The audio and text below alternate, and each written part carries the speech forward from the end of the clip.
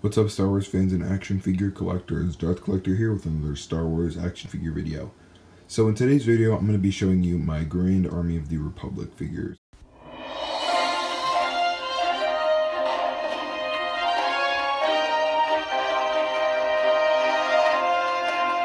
Now, uh, it's a little bit smaller than most other like series collectors um, Grand Armies. You know, like JCC 2224, his is massive several other people's are massive. Um, but you know, mine's pretty humble. Anyways, this were the figures that I mostly played with during my childhood. So all of them are kind of beat up, and most of them are missing guns. Mainly, mainly the commanders are missing some of the pistols. Some of these are more recent, like acquisitions, like this Bly. I just got him a little bit ago, at least like a year ago. I say just, but compared to the rest of the collection, that's pretty recent anyways, I'm just kind of going to go through and name the commanders and kind of like how I have it arranged.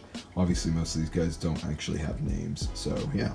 Alright, starting in the bottom left, I have Commander Bly over here. This is a super cool Bly figure, and they used the like mold, uh, the mold on several other clone commander figures, like this green guy right here, who doesn't really have a specified name, but it's a super cool mold, and I really like it. Moving up, I kind of just put all the light yellow guys so that kind of look like they could be in Bly's Legion, uh, 327th. Here's another Commander Bly, but this one just kind of sucks, and it's 5 POA, and the paint is missing a lot of important details. We'll talk about that in another video, maybe. This is actually another clone commander, but you wouldn't think so. He comes in one of the Battle of Geonosis 3 packs with Roan, Shryne, Sarissa Jeng, and Sefjet Josal. It's very expensive now, but I got it a long time ago in a galaxy far, far away. Here is either Waxer or Boil from the Landing at Point Rain arc. You can tell it's one of them because it has a little Numa decal, decal right on the side of his head. That's the Twi'lek girl in uh, some of the earlier episodes of the Clone Wars on Ryloth. I have a couple pilots here, a couple unnamed Clone Wars clones.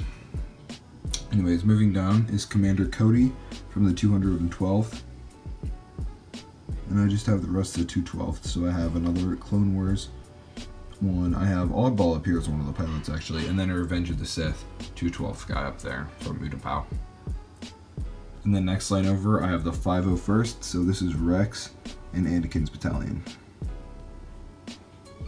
Here's two little mini, I don't even know what to call these, but two mini mini figures, I guess you could say.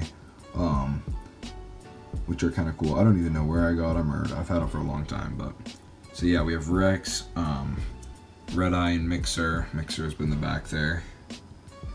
Snow Rex from that one arc. And then here's Echo from the Rishi arc with the binoculars. And the next row is my Wolfpack figures. So here's Commander Wolf. All these Commander Wolf figures are just such good figures. This one though especially I like just because like the detail on the helmet and under it. Look at his eye. I don't know if the camera will focus, but um, if it focuses, you can see his eye is super cool.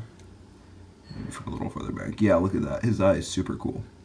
And then up here we have a, um, this is Boost, and then Sinker is the on the top row, and then this middle guy's unnamed. In the next row, we have Gree from the 41st.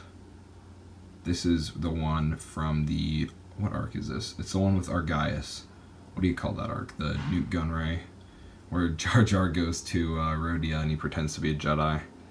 That was a strange arc, but it wasn't it wasn't horrible. Another 41st guy up here, the Z16. Here's Thire. At this point, he's a lieutenant. This is from the first episode of the Clone Wars. He's a lieutenant here, but he becomes a commander eventually. And then I just have a couple of Coruscant Guard guys. Jack up there, and a uh, shock trooper up at the top. And then next to them is just kind of the white basic uh, standard clone troopers. So I have three of them right here next to this cannon thing. And then I have two more up here and then the other one up here. And this other one is the one that pilots the ATTE, which I have up here. And I actually have another ATTE up there. On the very top right, we have an ARF Trooper. I think this is the one from Teth, one of the ones from Teth in the Clone Wars movie. Anyways, that about sums it up, honestly. So yeah, my uh, my clone collections, you know, it's it's really cool. I don't know exactly how many figures I could count, but it's smaller than some people's, um, but I, I really like it still. And these ones are the ones that I played with all throughout my childhood, so I have kind of good memories of these guys. Um, and that's why they're all missing parts, but I don't really regret any of that, obviously.